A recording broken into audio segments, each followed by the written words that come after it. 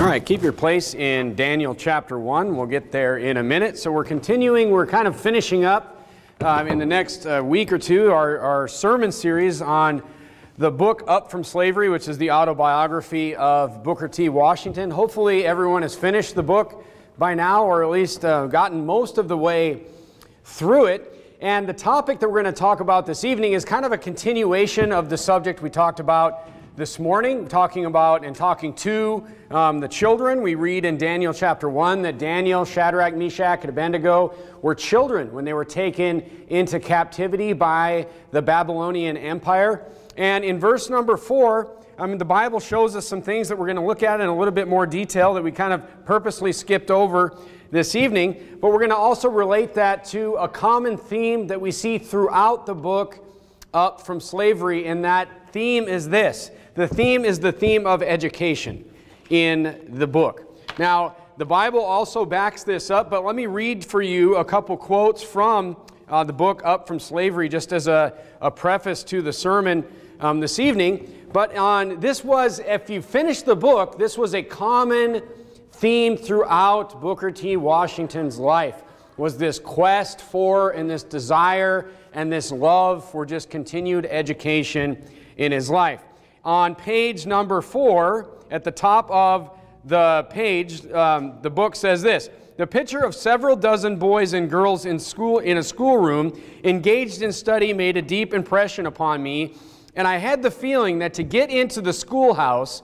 and study in this way would be about the same as getting into paradise.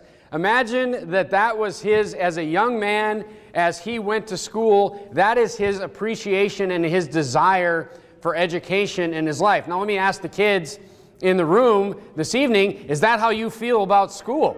When you get ready to go to school in the morning, when you get ready to go and do your schoolwork at home, do you feel like you're about to enter heaven? Do you? And you're laughing and you're saying, No, I don't. But I'm telling you, the reason that you don't is because you're taking it for granted and you're not appreciating something that you need to learn to appreciate young and early in your life. You need to have an appreciation for education in your life. Look at page 18 if you have your books in front of you. On page 18, there was uh, another statement, and I've read this one a few sermons before, but it's worth reading again. Booker T. Washington says this He says, There was never a time in my youth. You know what that means? That means when he was just a kid. When he was just a kid. It says, There was never a time in my youth, no matter how dark and discouraging the days might be, when one resolve did not continually remain with me, and that was a determination to secure an education at any cost. He says, No matter what it cost me, I am going to secure myself an education. He set that goal and he pursued that goal until he died. He never stopped pursuing that goal. Education was his life. Education was his life. And then that led to this idea, and I love the, the times that he wrote this in the book where he says that the education of the head, the hands, and the heart. The education, that's how he described his education. It was an education of the head, not just, it was not just knowing things, but it was an education of the hands. It was learning how to do things. And then it was an education of the heart, which was having passion to pursue things, and in his case, help people. And we talked about that um, a couple of sermons ago. But basically, what I'm trying to get at this evening, and I want to talk to the children again, and also specifically the parents, but there's two types of people out there that you'll meet today, is that those that have the desire for knowledge and that those who do not. You can really categorize people in those two categories. Look down at Daniel chapter 1. Let's look at what the Bible says and look at if the Bible matches up with what we're reading from this secular autobiography by a man. Look at Daniel chapter 1 and look at verse number 4. This is the verse of the week. Look at your bulletin. Children in whom was no blemish, but well favored. We talked about that this morning. And I skipped over this phrase on purpose this morning. Look what the next, in between the commas. It says, and skillful in all wisdom, and cunning in knowledge, and understanding science. These were children. These were children, and such as had the ability in them to stand in the king's palace, in whom they might teach the learning and tongue of the Chaldeans. It's interesting, it's interesting to note, and I kind of skipped over this detail on purpose because I want to really drill into it tonight, but it's interesting to note that they were chosen for their ability to learn. They were chosen for their ability to learn. Well, how did they know? How did they know that they could learn? Because they were already skillful in all wisdom. Because they were already cunning in knowledge. They were already understanding science. So, the king of Babylon, he literally decided who would do well in the future by looking at how they had done in the past. The king of, look, Nebuchadnezzar was no dummy. You can say he had some wicked moments, but this guy was no dummy. Let's look at a little bit uh, more detail. Look, because of their desire for it, they already had it, and he knew they could gain more. And so, what he wanted to do is he was looking for people that could learn, especially learn his language, so he could speak to them about what they knew. Look, they weren't to be teachers yet. He spent three years educating them on the language of the Chaldeans. Look, the king of Babylon, the king of Babylon, think about it this way. We talked about the, the, um, the parable of the talents a few weeks ago. The king of Babylon was looking for an investment, he was looking for someone to invest in. And he found the ones that had the five talents. He didn't go invest in somebody who buried their talent, or who burned their talent, or who had no talent. He found the ones that had five talents, and then that's who he poured his time and his energy into. Smart man. Smart man. It's an investment, especially for King Nebuchadnezzar. We'll look in detail. It would pay off for him. Wisdom, knowledge, science. Look, we talk a lot about wisdom and knowledge in God's word, but they also knew they also knew science. It says here, what is science? Here's the definition of science the intellectual and practical activity encompassing the systematic study of the structure and behavior of the physical and natural world through observation and experiment. Just to break it down, it's the, it's the study of the physical and natural world through experimentation. That is science. Okay? The word appears twice in the Bible. The other time is in 1 Timothy chapter 6. Go ahead and turn there. 1 Timothy chapter 6. The word science actually appears in the Bible. So when people say follow the science, and, you know, forget the Bible, follow science. Look, the Bible talks about science. And science, science is the study of the natural world through observation and experimentation. What that means is I observe something, I think I have an idea of what I'm seeing, so I go and I make an experiment to see if my observation is correct. So the experiment proves my observation. And it's a study of the natural world. Well, it makes sense that the word science would be in the Bible because guess who invented the natural world? Jesus Christ. Jesus Christ himself created the natural world. You'd think he would know something about science since he invented it, basically. Look at 1 Timothy chapter 6 and verse number 20. This is what we see today. 1 Timothy chapter 6 and verse number 20. Oh, Timothy, here's a young preacher Here's somebody that's going to be sent out into the ministry. Here's somebody that's going out to preach and teach the Word of God. Oh, Timothy, keep that which is committed to thy trust, avoiding, he's warning him.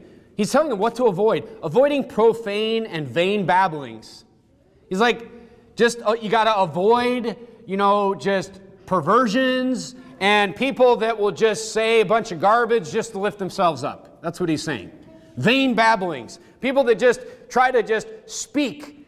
Just, you ever met this person? They just talk because they just want you to pay attention to them. And they're not, they're just like, uh, you're like, what are you even saying? You don't even make any sense. It's just vain babblings. And, look at this oppositions of science falsely so called. So it's oppositions, pause for a second, of science falsely so called. He's saying it's oppositions to, to you, to the Bible, to what you're teaching and preaching of science falsely so called. So, like, it's not that science isn't real. It's not that there's not real science because that's what Daniel knew.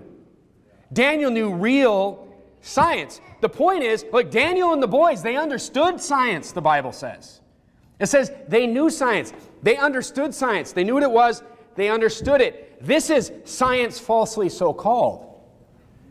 And Paul is actually warning Timothy about people that will use this to oppose you. Boy, does that sound familiar? Does that sound familiar?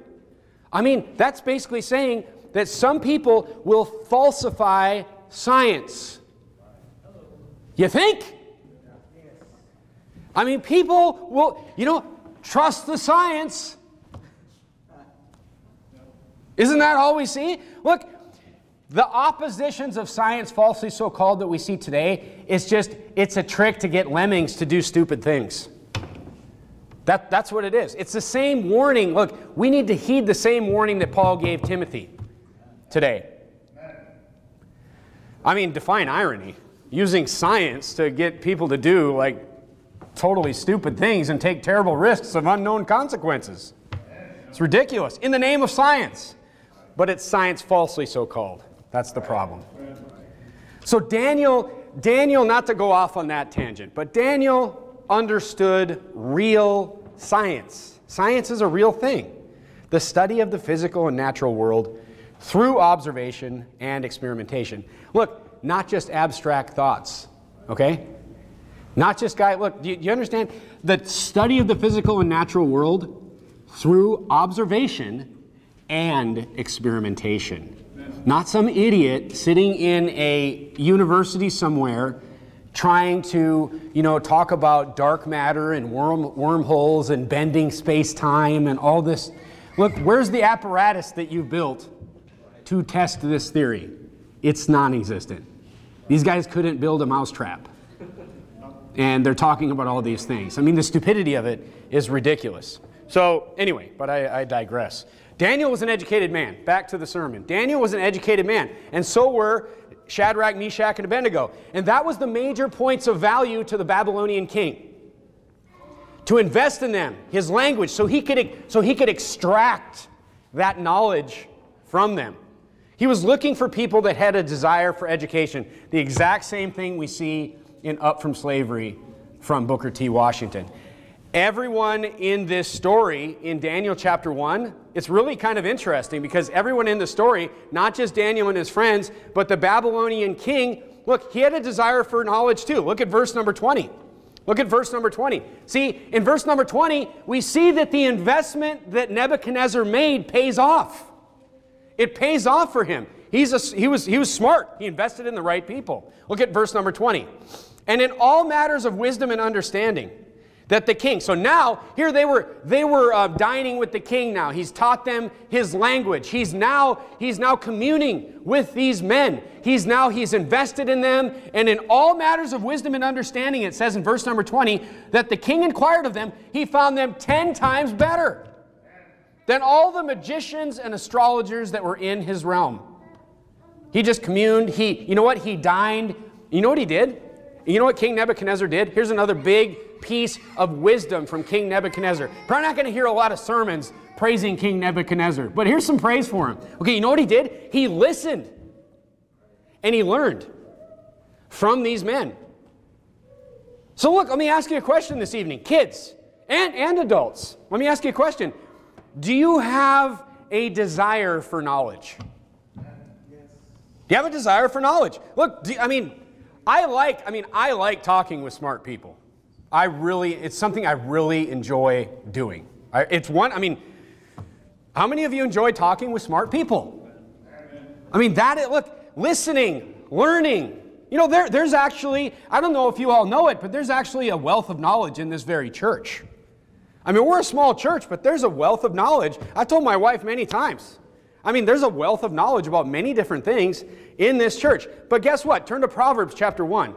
Proverbs chapter 1, and look at verse number 7. We should have a sermon series like the other half of the proverb. And just like we've read a lot of these proverbs dozens and dozens of times, but the second half of the proverb, many times, we kind of just skip over. But the second half of the proverb is so many times so, you know, it's just as wise as the first one. Look at Proverbs chapter 1 and verse number 7.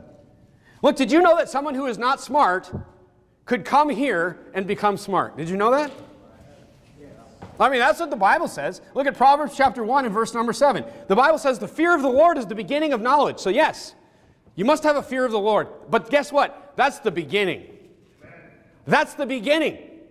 Okay, so if you have an education, if you have an education that takes you 40 years to get it, the fear of the Lord is just the beginning five minutes. It's just the beginning. But then look at the, the last part of the, the proverb here. It says, but here's, so he, explains how to begin your education. In Proverbs chapter 1, God tells us how to begin it. He says, here's how you begin it fear the Lord. But then he says, here's how you'll never start it. the second part of the proverb. I mean, it's brilliant. Look what he says. But fools despise wisdom and instruction.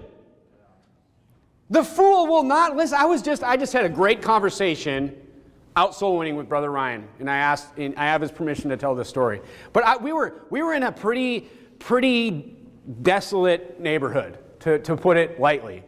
And yeah, I can understand. I told him, I said, I can understand how, how women end up in this bottom rung. You know, they, they go, they make some poor choices, they, they have children, and they're just, they're stuck there. You know, I mean, look, it's not that it's not their fault, but I can understand how that happens. Now, we ran into a couple you know, at least one uh, like 60 year old man, 60 year old man that was in that low point. Just, and, and I'm just like, you know, and I thought about this verse. I thought about this verse and I said, you know, it's almost, it's almost worse. I like to end up when you're, when you're 60 years old and to end up right there.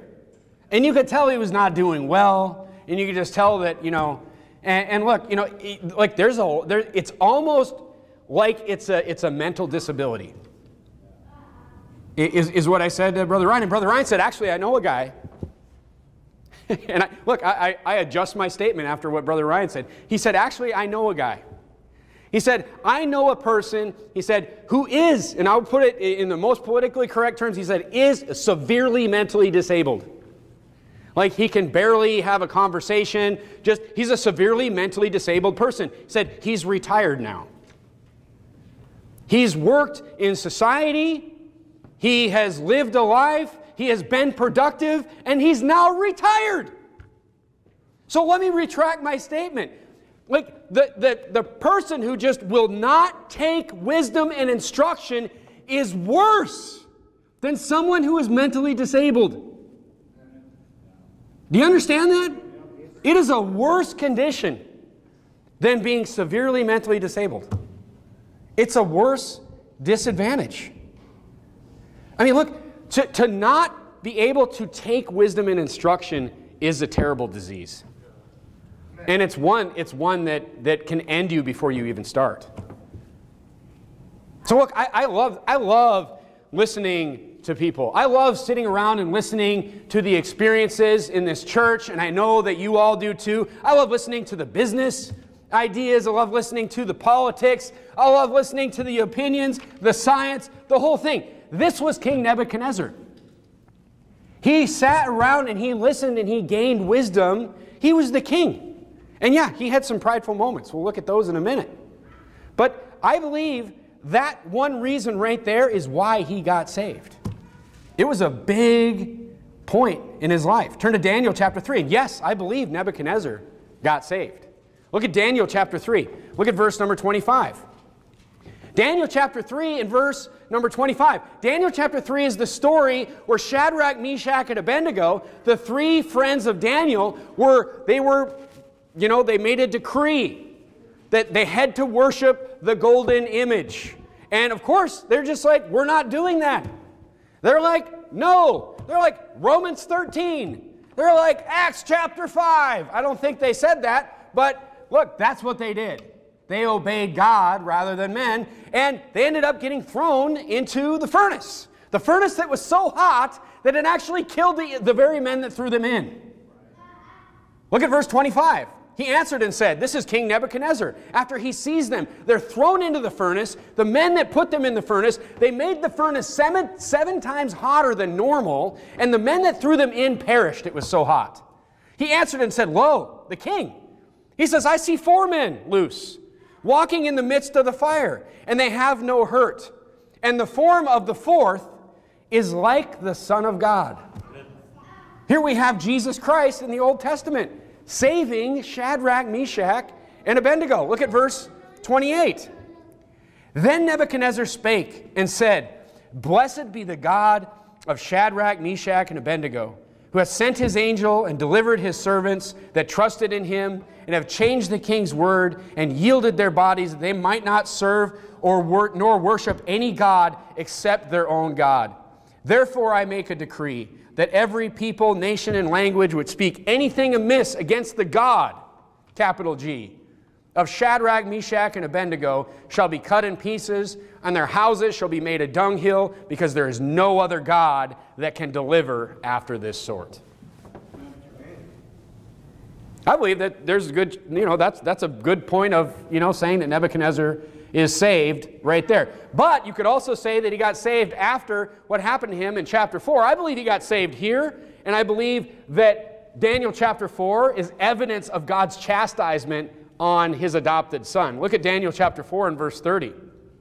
Nebuchadnezzar gets prideful in Daniel chapter 4 in verse number 30. I mean, I can't imagine why the king of the most powerful empire on the planet would get prideful, but he got prideful here. Look at Daniel chapter 4 and verse number 30. Look what the Bible says. The king spake and said, Is not this great Babylon that I have built for my house of the kingdom by the might of my power and for the honor of my majesty? While the word was in the king's mouth. Is like while he was saying this, there fell a voice from heaven saying, O King Nebuchadnezzar, to thee it is spoken, the kingdom is departed from thee, and they shall drive thee from men, and thy dwelling shall be with the beasts of the field, and they shall make thee to eat grass as oxen, and seven times shall I pass over thee, until thou know that the Most High ruleth in the kingdom of men, and given it to give it giveth it to whosoever he will. The same hour was the thing fulfilled upon Nebuchadnezzar. And he was driven from men, and did eat grass as an oxen, and his body was wet with the dew of heaven, till his hairs were grown like eagle's feathers, and his nails like bird's claws. And at the end of the days, so this happened, I mean, this, this, he was in this state for a while. And at the end of the days, I, Nebuchadnezzar, lifted up my eyes unto heaven. So he's in this state. He's literally put into the ground as a beast. God causes him to lose his mind. He's driven out of his palace. He's out. He's living like an animal. I know you can picture it because we live in California. He's living like an animal. His fingernails are long. His hair, I mean, just imagine it. It's here. I drive by King Nebuchadnezzar's every single day of my life here. At the end of the days, I, Nebuchadnezzar, lifted up my eyes unto heaven. I'm sorry, I have a weird obsession with it. It's not normal, okay? All right. At the end of the days, I, Nebuchadnezzar, lifted up my eyes unto heaven, and mine understanding returned unto me. And I blessed the Most High, and I praised and honored him that liveth forever, whose dominion is an everlasting dominion, and his kingdom from generation to generation. Look, this is a guy that's getting right right here. And all the inhabitants of the earth are reputed as nothing. And he doeth according to his will in the army of heaven and among the inhabitants of the earth. And no one can stay his hand or say unto him, What doest thou? At the same time, my reason returned unto me, and for the glory of my kingdom, my honor and brightness returned unto me. And my counselors and my Lord sought unto me, and I was established in my kingdom, and, my, and, and that excellent majesty was added unto me. Now I, Nebuchadnezzar, praise and extol and honor the King of heaven, all whose works are truth and his ways judgment, and those that walk in pride he is able to abase. I mean, that's great. In Jeremiah chapter 25, I won't read it for you, but you know, the Lord calls um, Nebuchadnezzar his servant. Um, Nebuchadnezzar is clearly saved. And God was chastising him here. And guess what? It worked. It worked. Don't get in the way of God's judgment. That's that because God's judgment works. Okay, so the point being is the king got saved. Let's bring it back to the sermon. He recognized the one true God because of the wisdom of Daniel, Shadrach, Meshach, and Abednego. Look, nobody wants to listen and learn from a fool. And a fool won't listen and learn to, from, you know, to anybody. So the king sat and he listened to all the knowledge that these kids had. And ultimately, this led him to the Lord. I mean, it's a great, it's a great story. It's a great testimony for Daniel, Daniel Shadrach, Meshach, and Abednego. So we should be the, back to the sermon, we should be the type of people that desire knowledge, that desire education. So kids, you need to learn to desire education. Pay attention in school. Desire that. Look, you should be, you should be loving to learn. And you should be teaching yourself. You're like, I don't like to learn. Well, guess what, kids? I didn't figure this out till I was maybe in my mid 20s. I hated school. I hated it. But you know what? I shouldn't have. I shouldn't have because education is the key to your life. My second point is this you need to have a life where you love education, just like Booker T. Washington did, just like Daniel and his friends did. And here's the, second point education never ends. And this is why you need to learn to love it as a child. You need to learn to love it as a child because it never ends. I know we're taught today, oh, you go through K, you go through kindergarten, through 12th grade, and then you go off to college, and then that's it. You know, that's what the secular world will teach you today. But look at page 20 of uh, the book. Let me read a, a, um, an expert, uh, excerpt of page 20. One day, so he's working in a coal mine. He's working in a coal mine as a child at this point, and he says, one day, well, one day while working in the coal mine, I happened to overhear two miners talking about a great school for colored people somewhere in Virginia. This was the first time that I ever heard anything about any kind of school or college that was more pretentious than the little colored school in our town. In the darkness of the mine, I noiselessly crept as close as I could to the two men who were talking. I heard one tell the other that not only was the school established for the members of my race, but that opportunities were provided by which poor but worthy students could work out all or part of the cost of, of board at the same time being taught some trade or industry. So here we see that not only did he have this continual desire for education, but you see that that desire for education, it led him to his life work and it led him into his trade or his industry. So trade and industry equals education. It's the same thing. So look, a skill, a trade is something that you can contribute to society. Okay, and if you have this, look, if you have a skill, if you have a trade, you really won't ever have to worry about losing your job. If you have something valuable that you can do, okay, there will always, look, and, and Daniel is again a perfect example of what I'm talking about here. Daniel actually lost his job. Daniel lost his job a couple of times. Daniel lost his job because he was going to be executed. You know, that's a pretty bad one. You come into work one day and they're like, you're going to be executed today. You know, that's, that's pretty big demotion right there. Okay, so Daniel lost his job that way. And then look, look, these guys were a think tank. That was their, that was their skill set. They were a think tank. They lost their jobs when the Babylonian Empire got overthrown by the Persian Empire. Go to Daniel chapter 6. These guys all lost their jobs. They're like, man, I just got to the top, and then the company just got bought by somebody else. That's what happened to these guys. Look at Daniel chapter 6. Look at verse number 1. Darius is the king of the new empire that has just overthrown the Babylonians. It pleased Darius the Persian king, to set over the kingdom an 120 princes, which should be over the whole kingdom. This kingdom, I mean, again, most powerful kingdom in the world right here. Now it's the Persian Empire. And over these, three presidents. So here we have, we have Darius, we have three presidents, and then we have 120 princes underneath them.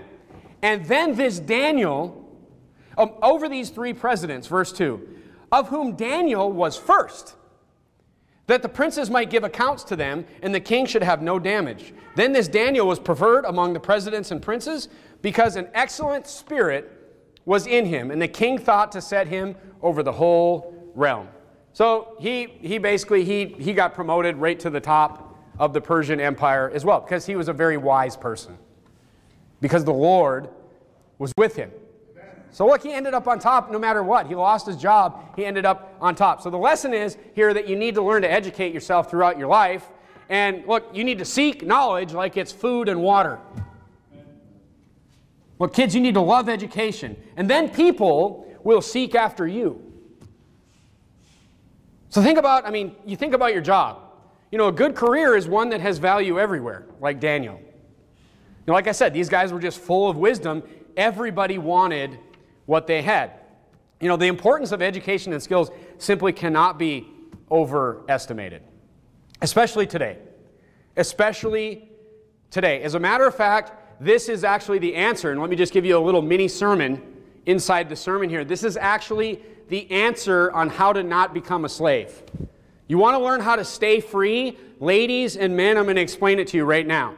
Okay, this is how, and kids, you're wondering, what should I be when I grow up? Listen up, listen close. This is how you avoid being controlled. Right here. Ladies, we have to homeschool. It is, it is, we've already known this.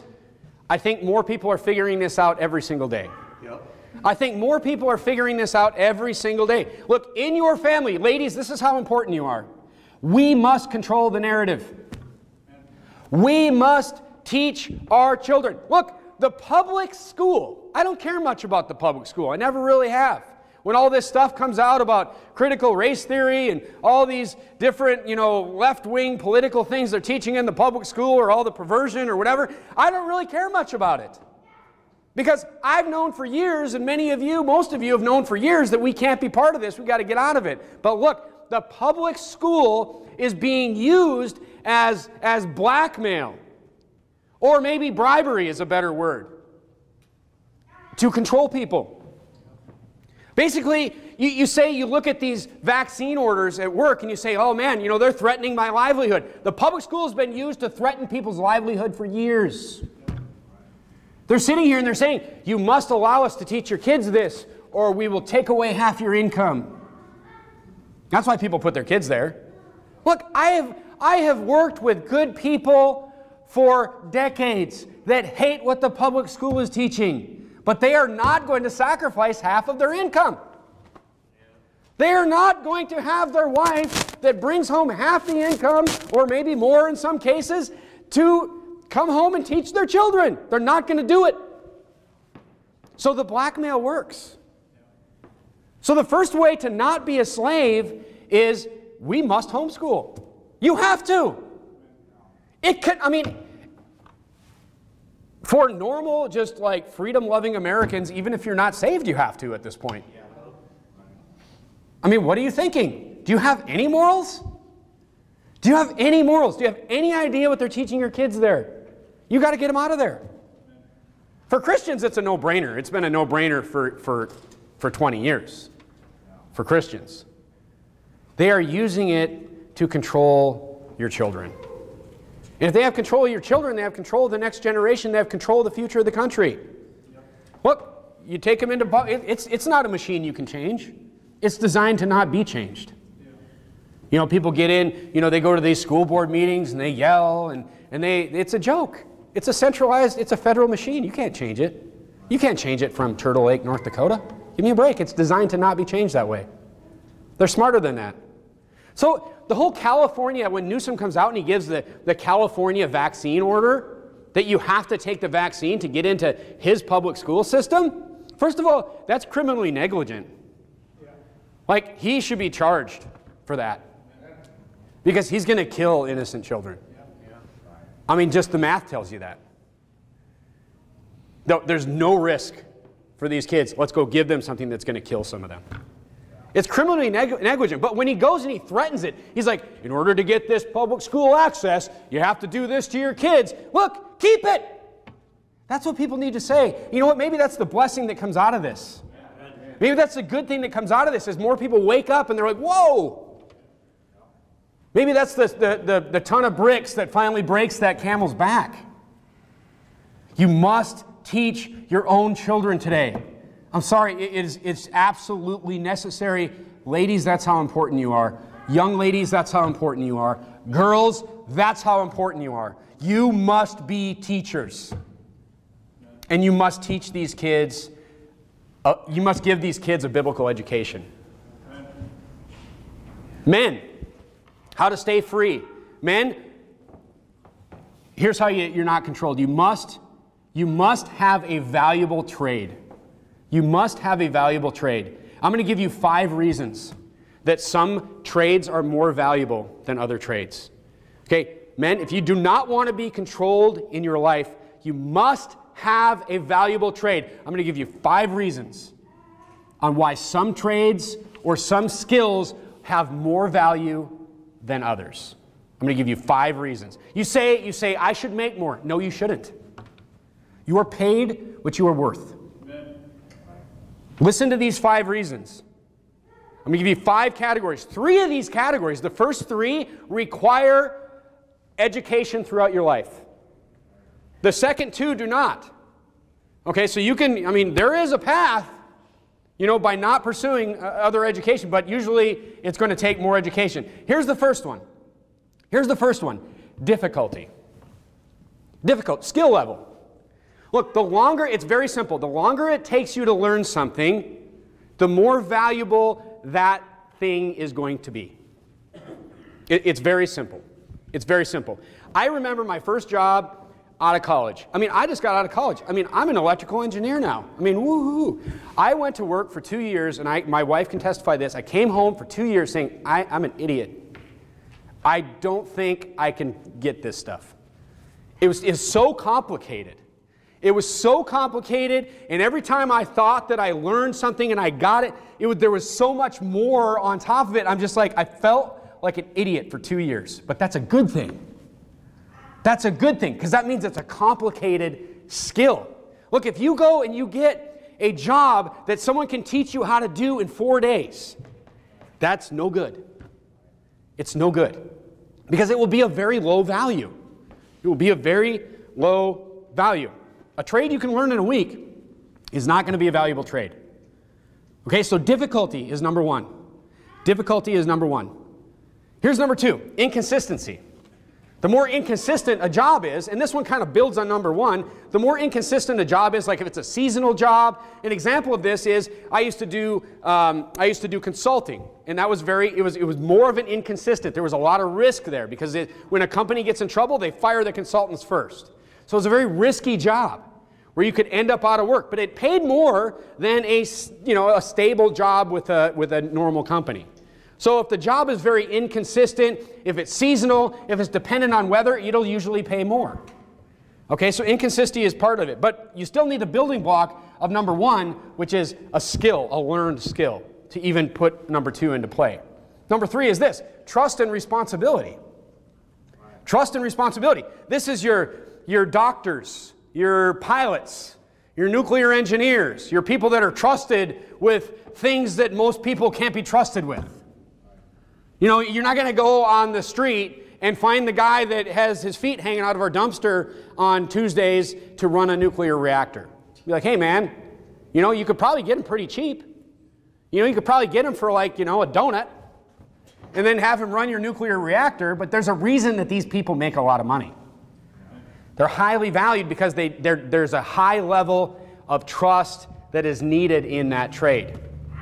Okay, so that also, but that also usually takes a lot of number one. Those people are not only in a trade that is, that is very, they have to be very trustworthy, but they also have a lot of skill that they've learned over a long period of time. Doctors, pilots, like I said, you know, people that are running nuclear submarines and nuclear reactors, and I'm sure there's a ton more that I, I'm not thinking of. But look, here's the thing. Here's the fourth one. Here's the fourth one. So that's, that's number three, trust and responsibility. Number four is the improbability of success. You say, what does that mean? This is your, this is your uh, professional athletes. Okay, this is, you say, Tom Brady makes too much. No, he doesn't. Tom Brady does not make too much. Tom Brady makes what he's worth. Can you go do what Tom Brady does? No, you can't. Nobody here can. Look, this one doesn't require any education. This one doesn't really require any training. It's just the guy can just throw a football like crazy. you know, and he's just he's just good at it. But it's it's something that very few people are going to fit into because it's you know the improbability of success. That's why I really don't like seeing kids. I remember there was this young kid in this small town that I grew up in, and like his dream was to be a professional baseball player. And it's like you know that's not a good that's not a good goal because the the probability of success there is very very low okay? And it doesn't require education, it doesn't require furthering knowledge. So you end up on this limb and then you fail and you've got nothing. So that's not a good path. And number five is this dis- the disagreeableness of the job. The disagreeable, it's just a job that other people don't want to do. You know, this is like, you know, your garbage men. These guys like make a lot of money because nobody wants to pick up trash. You know, this is your plumbers. These guys generally, it's a high paid trade because not a lot of people want to do it. So the jobs that people don't want to do, you know, employers will have to pay more for. Okay? But the main building block that fits most people is just the simple skill level, the simple knowledge, the simple, you know, the trades, the trade. So you have to further your education and get this education that Washington talked about in his book the education of not only the head, but of the hands and of the heart. And that's how you stay free. The main building block is number one. So, in conclusion, to be successful and to define your own future and avoid being controlled, you need to have a lifelong desire of knowledge, just like Booker T. Washington did. You know, I remember um, after, you know, I, I didn't like school. I didn't like school. You, you, kids say, you know, I don't like school. I look, I hated school. I wanted to get out of school. I wanted to get out of college as fast as possible. I didn't actually gain this like this this desire for knowledge until a little bit later in my life.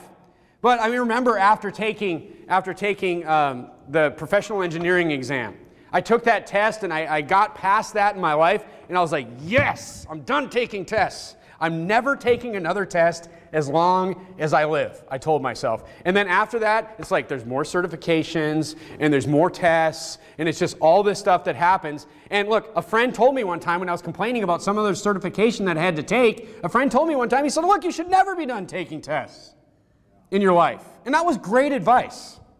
That was great advice because look, you should never be done learning. You should never be done learning. So, kids, you need to love to learn. Kids, you need to not watch things, you need to read things. You need to learn to read. I tell my kids all the time people that read are smart. Kids, listen. People that read are smart, people that don't are dumb. That's, a, that's pretty simple, but that's the way it is. People that don't read are dumb. People that read are smart. I, talk to, I tell my kids that all the time. They've heard it a million times. Repeat things to your kids, it works. Turn to Proverbs chapter 22.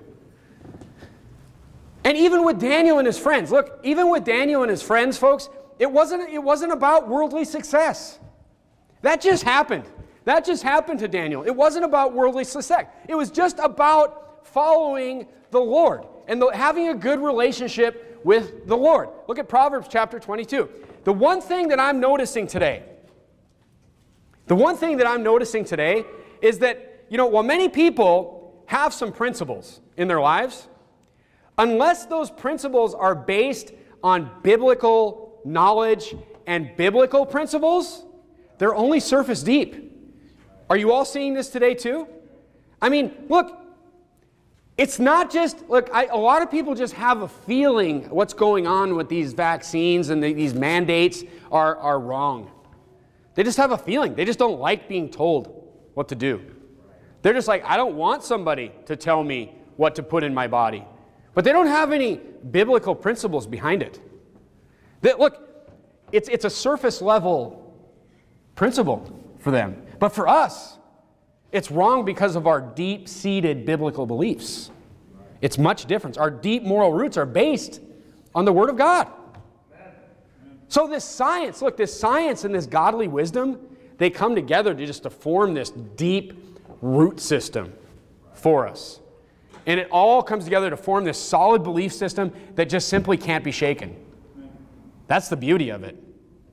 Because when we're knowledgeable, when we're diligent, when we're hardworking, when we're always seeking more knowledge, in God's Word and in science and understanding the world around us and honing our skills and trades, Proverbs 22 29 will happen to us. Look what 29, verse 29 of Proverbs 22 says. See the, Seest thou a man diligent in his business? Look at the last part of the verse. Again, he shall stand before kings. He shall not stand before mean men. You know what that means? He will not be controlled. He will not be controlled because kings want him because other people desire him. And if somebody says, "Hey, I'm threatening you with this," or you know, you're going to have to do this, there's like four kings over there that want to talk to you. That's what will happen to the man diligent in his business, the man that pursues knowledge. No one will be able to force you to do anything. This is the importance of education throughout your whole life. This is what happened to, to Mr. Washington. This is why he was sought after. He was sought after. That's why he traveled around so much, if you read the book. He traveled across the whole world. He went and he gave talks and speeches, and people, like heads of state, wanted to hear what this guy had to say. Because he will not stand before mean men because he pursued education throughout his whole life. And Daniel was the exact same way. It didn't matter who the king was. It didn't matter who the king was. They just, they wanted Daniel in Proverbs, they wanted Proverbs 22, 29. They want the king, it didn't matter who he was, wanted Daniel to stand in front of him. And just, and just, just get, gain that knowledge that Daniel had, gain that wisdom, because Daniel pursued wisdom and knowledge and a relationship with the Lord his whole life. And look at the difference that this man made. It's not about worldly success. It's not about worldly success. Look, that'll just happen to you. That, that stuff, you know, if God blesses you with that, great. But it's about, it's about pursuing this knowledge and education and love for God's Word and having this relationship with the Lord, starting as children and pursuing that your whole life. And that's what Daniel did. And look at the difference he made. He made a difference in world empires. It's an amazing testimony. Education and the love for it, super important. Don't forget that. Kids, study hard. Learn to love to read and learn to love the school. And look, kids, you have such a blessing being homeschooled. Do you know how bad the public school system is, kids? Kids, you go home and you hug your mother and you be good to your mother when she's teaching you. And you thank God when you say your prayers tonight that you have a mother that's going to stay home and teach you. Amen. And is not going to pursue money.